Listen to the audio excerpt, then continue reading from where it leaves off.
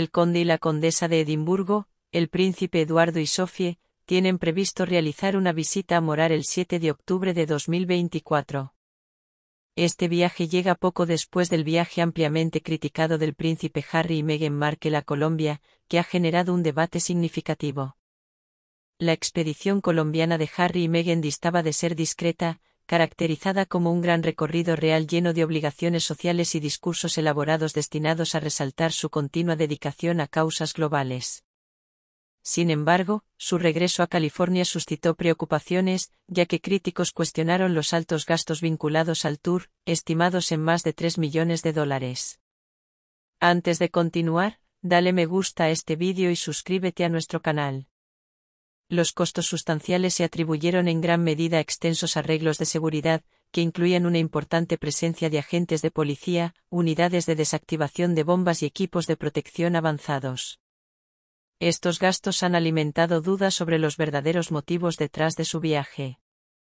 En marcado contraste, se espera que la próxima visita del príncipe Eduardo y Sofía Malta sea un compromiso más sólido y con propósito.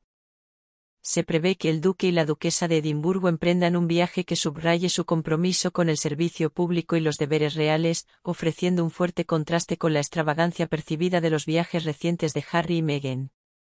Añadiendo intriga a esta narrativa real, está la reciente revelación de The Daily Mail, que expuso las dudosas afirmaciones de Meghan Markle sobre su herencia maltesa. En 2015, Meghan visitó Morar con gran fanfarria, retratándolo como un viaje para reconectar con sus raíces.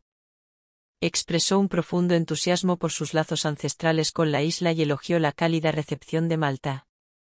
Sin embargo, Investigaciones genealógicas posteriores revelaron que las afirmaciones de Megan sobre su linaje maltés eran engañosas. Su tatarabuela, Mary Beard, solo había residido brevemente en Malta a mediados del siglo XIX antes de mudarse a Canadá.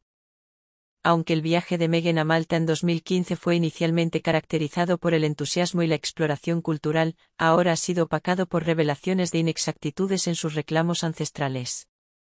El contraste entre su visita y el próximo viaje del príncipe Eduardo y Sofía subraya un debate más amplio sobre el papel y la representación de la realeza moderna.